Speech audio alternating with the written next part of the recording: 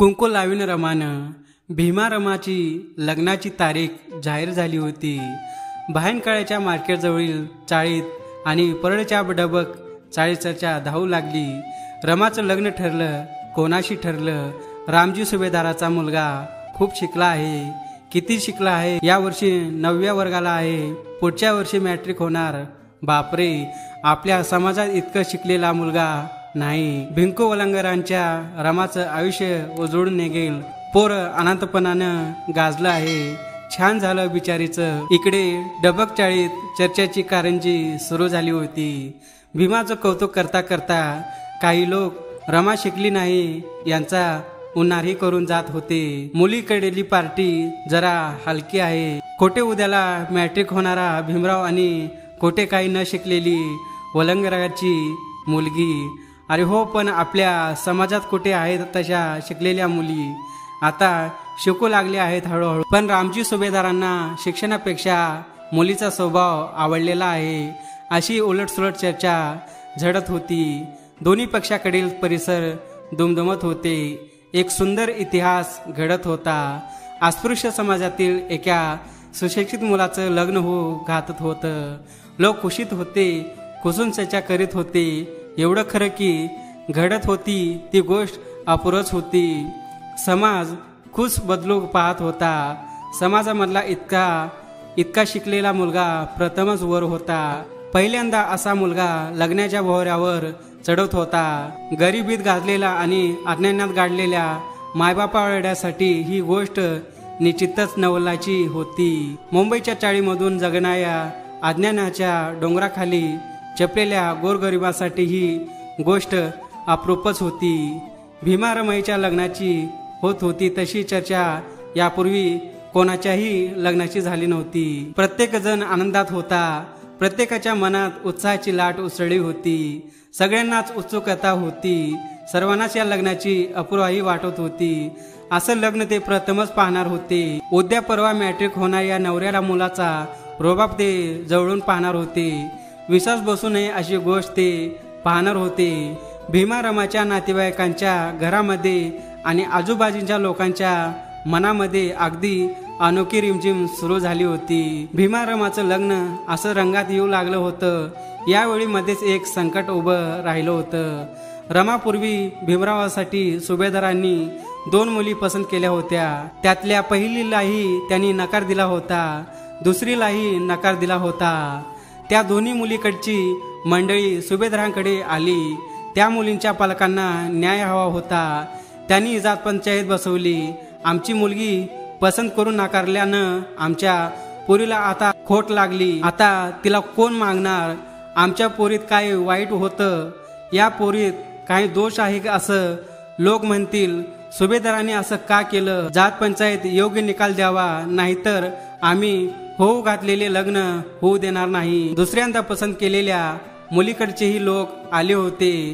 त्यांनीही वरांच्या सारखाच आरोप सुभेदारांवर केला. सुभेदारांनी शांतपणे अपराध कबूल केला.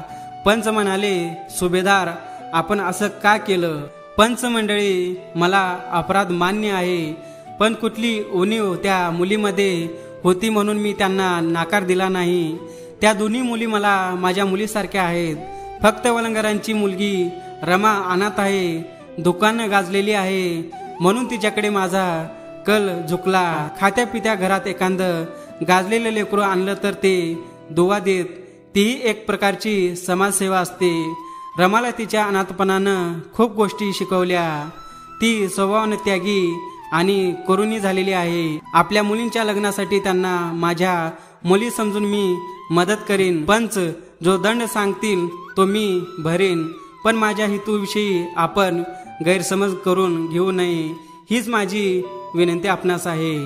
तिथं जमलेल्या मंडळींनाच आवाहन करण्यात आले. त्याचप्रमाणे मुलींच्या लग्नाचं पक्क झालं सर्वत्र आनंद झाला सुभेदारांनी दंड भरला सुभेदार दोषमुक्त झाले. ठरलेल्या तारखेकडे भीमा रमाचं लग्न सरकू लागलं. वातावरण आता सर्व दृष्टीने निरंभ्र झालं होतं. लग्नाचा मोसम जवळ सरकू लागला होता. लग्नाचा दिवस येऊन ठेपला. लग्नाच्या इस्तर होत भयान काळाची बाजार ओळ रमा नवरी झाली होती. भीमराव वर होता नवरी नऊ वर्षाची होती. नवरा मुलगा सतरा वर्षाचा होता. दोन्हीकडील वराडी मंडळी बाजारात आली. बाजार ओळीतील छपऱ्यांच्या एका बाजूला वराकडील मंडळी जमली होती. तर छपराच्या दुसऱ्या बाजूला वधूकडील मंडळी जमली होती. विक्रीसाठी माल ठेवायच्या बाजारातल्या चमुताळ्यावर वधू बसले होते. जबूद या खालून वाहणाऱ्या गटारीतील घाण पाणीही लाजलं होतं. तरी भोवतीच्या घाणीची दुर्गंधी सुटली होतीच. भीमरावाचं लग्न होत होतं. घाईकरांची होती. बाजार भरण्यापूर्वी सर्व उरकायचं होतं. सर्वजण नव या मुलाकडे मोठ्या कौतुकाने पाहत होते.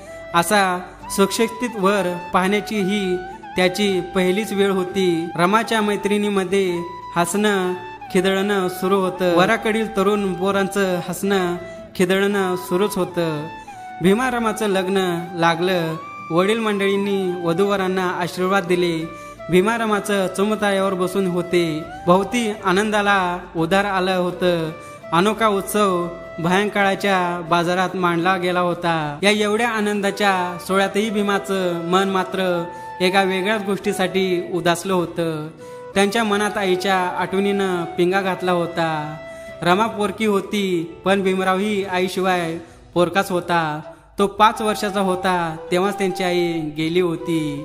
भीमाबाई हे त्यांच्या आईचं नाव त्यांची आई जाऊन आता कमीच अधिक बारा वर्ष लोटली होती. खूप मोठा काळ पाणी वाहून जावा तसा वाहून गेला होता. बारा वर्षाचा लोखंडी पडदा दूर सारून त्याचं मन आईजवळ गेलं होतं. त्याला या आनंदाच्या क्षणी काहीच अपराध्यासारखंही वाटलं होतं. एक खंत त्यांचं काळीच नेहमीच कुरतडंद असे त्याच्या जन्म झाला तेव्हा ज्योतिषानं सांगितलं होतं की हे मूल अशुभ नक्षत्रावर जन्माला आलेला आहे. ते आईच्या मुळावर येणार. यांच्यामुळे याची आई मरेल म्हणून यालाच त्याच्या लहानपणी सर्वजण हिडी सफिडीस करीत असत. आईच्या मुळावर येणारा हा मुलगा मरावा असं लोकांना वाटे. अनेक मूल मरतात पण हा कसा मरत नाही? अनेक रोग येतात साथींचे. त्यात लोक मरतात याला मात्र काही होत नाही. आईला मरायला जन्मलेला मुलगा म्हणून भीमराव हा अनेकांच्या द्वेषाचा विषय होता. पुढे तो पाच वर्षाचा असताना त्याची आई मरण पावली. भीमराव पोरका झाला होता. तो आता सतरा वर्षाचा झाला होता. लहानपणाच्या त्या भाकण गोष्टीवर आता त्याचा विश्वास उरला नव्हता. पण तरी त्याचं मन आईच्या आठवणींनी गदगदून आलं. भीमरावाला वाटलं आज आपली आई असती तर मी इतकं शिकलो हे पाहून तिला केवढा आनंद झाला असता. आपल्या भीमाचं लग्न होत आहे या घटनेनंही सुनेचं केवढं कौतुक केलं असतं तिनं. माणसाच्या जीवनातील सुखांच्या क्षणी तरीही आई असावीस. आई तुझा भीमराव तुझी आठवण करतो आहे. आई आई माझं लग्न झालं आहे. आई तू असायला हवी होतीस ग आई. भीमरावाचं हे पोरकं मन असं आक्रोश करीत होतं. आनंदाच्या क्षणीही ते व्याकुळ झालं होतं. काही दुःख हक्कानं सुखाच्या ऐन भरात आपल्या मनात येऊन उभी राहतात. मुकी मुकी असतात. ती स्वतःमुखी असतात आणि माणसाला आक्रदन करावं लागत. तसं यावेळी भीमरावाचं झालं. गळा गदगदला होता. पापण्यांचे काठ ओले झाले होते. त्यांच्या बाजारातील चमुताळ्यांच्या भोवताल्यावर भीमासोबत बसलेल्या रमाच्या मनातही दुःखाचे आशेच कट दाटून येत होते. तिच्या अवतीभोवतीच्या कोणालाही मुलींच्या वाटेला आलं नाही असं नवरा तिच्या वाटेला आला होता. हे सर्वच तिला अनपेक्षित होतं. या सुखाने ती भाभावून गेली होती. पण आई वडिलांच्या मृत्यूनंतर तिची अवस्था उन्मळलेल्या झाडासारखी झाली होती. तिच्या काळजाचं संगीतच मुक झालं होतं. वायानं आग भडकावी तसं आईबापांच्या आठवणीनं तिचं मन भडकवलं होतं. घरट अस्ताव्यस्त झालेल्या पाखरासारखं तिचं मन चित्कारत होतं.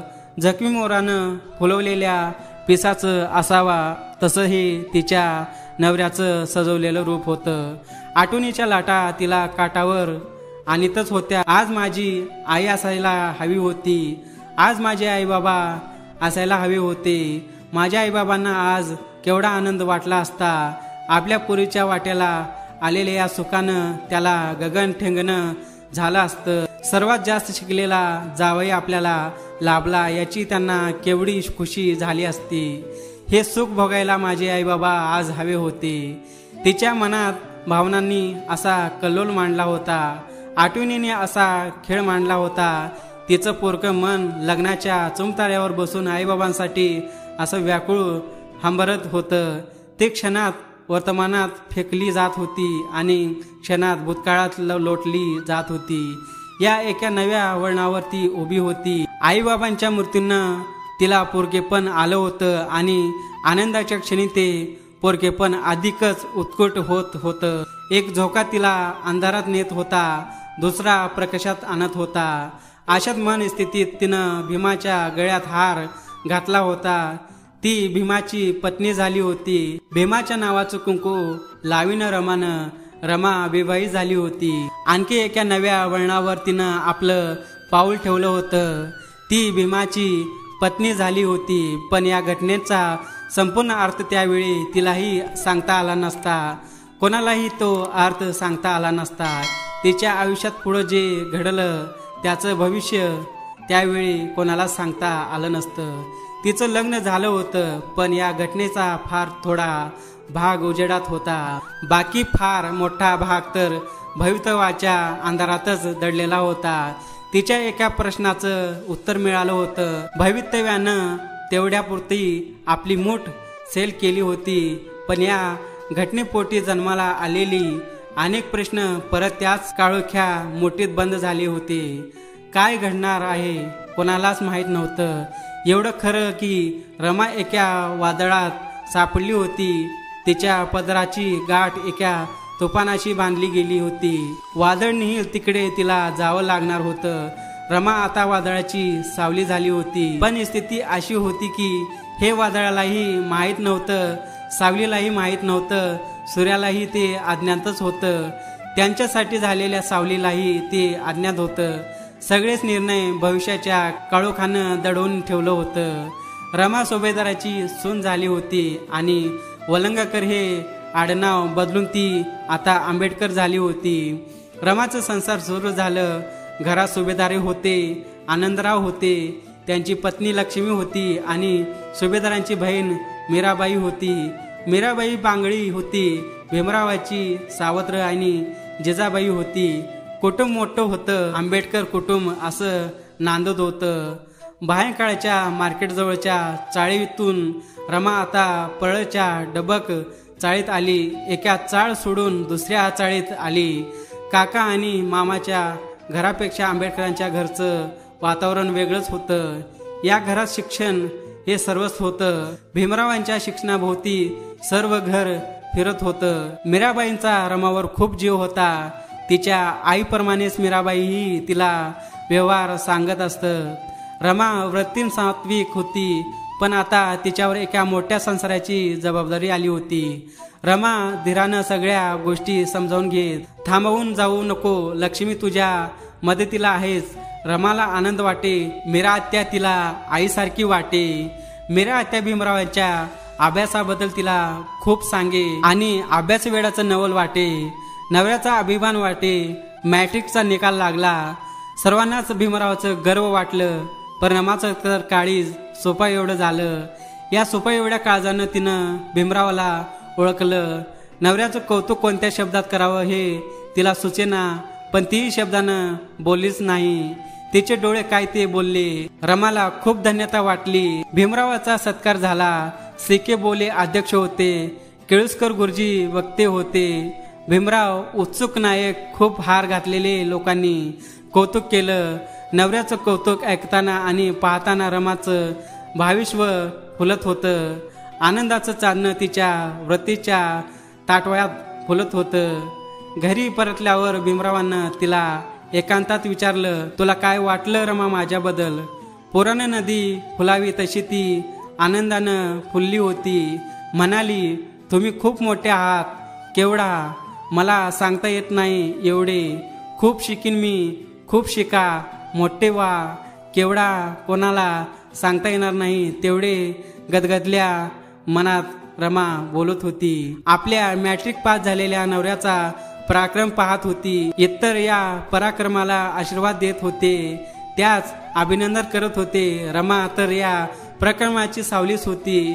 या झेपावत निघालेल्या प्रवासाला साथ देण्याचा वचन तिनेही दिलं होतं. वेगळ्या जबाबदारीनं रमाला बांधलं. अनेकांना अशा जबाबदारीशी बांधून घेण्याची संधीही मिळत नाही.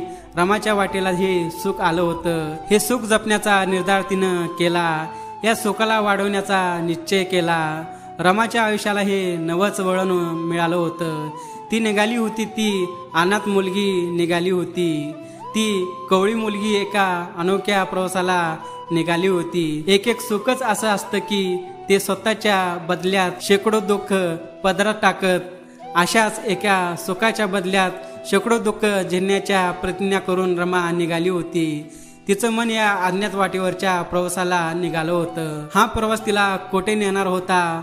रमाच्या वाटेला काय काय येणार होतं? रमा हारणार होती की प्रवास फार करणार होती? प्रश्न तर नवे होते.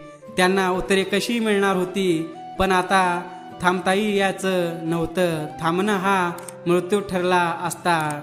वादळाच्या सावलीला आता पर्याय नव्हतं. मित्रांनो माता रमाई आणि डॉक्टर बाबासाहेब आंबेडकरांबद्दल तुम्हाला लग्न सोहळ्याविषयी तुम्हाला थोडक्यात माहिती दिली. तुम्हाला ही माहिती कशी वाटली? कॉमेंट बॉक्समध्ये नक्की कळवा. आणि या नवीन असताना या चॅनलला सबस्क्राईब आणि लाईक करायला विसरू नका. मग चला भेटूया पुढील व्हिडिओमध्ये तोपर्यंत जय भीम. नमो बुद्धाय.